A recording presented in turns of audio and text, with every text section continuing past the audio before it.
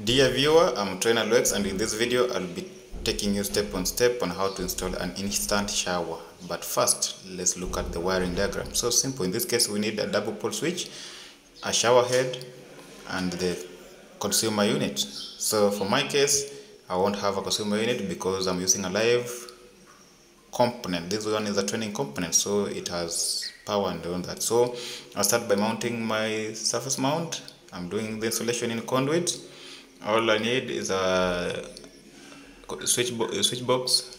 I need a conduits and I need a saddle clips for my surface mount. But for that the best part you need to understand is on how to terminate and to joint. So in this case I'll need three conductor the live the neutral and the earth conductor. Remember for a double pole switch is a unique switch. It's not like the other switch. It has it allows all the three uh, conductors that the live, the neutral and earth to go through the switch. Remember the normal switch that we use like the two-way, one gang and all that only takes the live. The neutral and the earth passes through direct to the equipment. So the DP switch has six terminals, uh, the three input terminals and the three output terminals which that is the live, neutral and earth terminals as you can see here. So my contactors or my cables from the consumer unit will go to the input terminals, that's the live to the L1 and the neutral and all that on the input side. And then from this double pole switch to the instant shower will leave through the output terminals. So that's what I'm going to connect. All the six, cable, six cables are going to be connected in that manner. So I can, I've already installed my uh, input terminals, that's from the consumer unit and then uh, the remaining output uh, terminals from the double pole switch to the shower head it will just go as it is. Remember i'm not going to install a shower head to water. Uh, for this case i'm just going to show you that if I've, if I've connected everything well the double pole switch will indicate the indicator lamp on the uh, double pole switch will come on whenever i switch it on. That's that's for proper installation.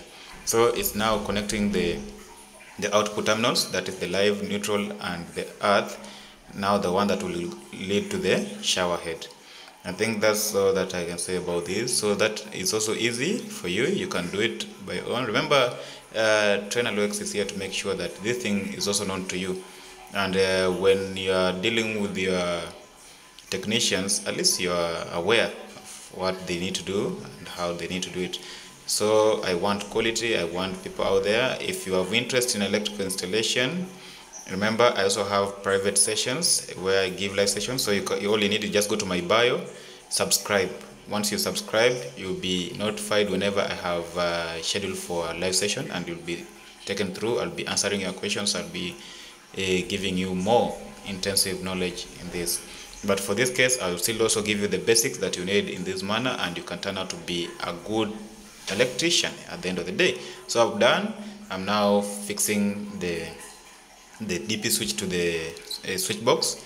And then after that i'll go ahead and install my shower head. That's the shower head I, the one you see there.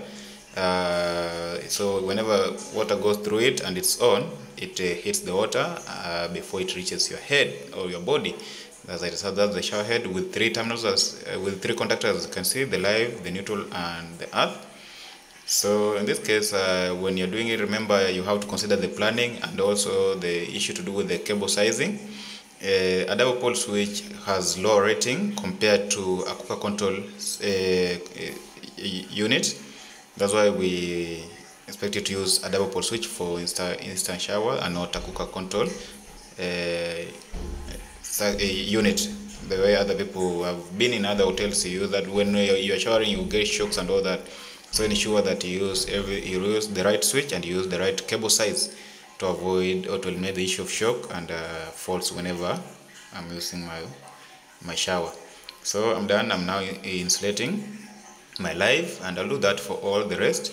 Then after that uh, I think we'll be ready to test our circuit. As you can see I've already brought my power from the uh, circuit breakers to the terminal panel box that I'm using there to finish the circuit. So once I've done that you can see that the circuit is complete and uh, everything's done.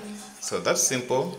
Uh, how do you find this? If it's interesting please don't forget to give me a follow comment below your views and uh, see you in my next upload. Remember once you subscribe and you activate uh, the notification icon for on your youtube you'll get everything instantly as i upload. Thank you for your time. See you next time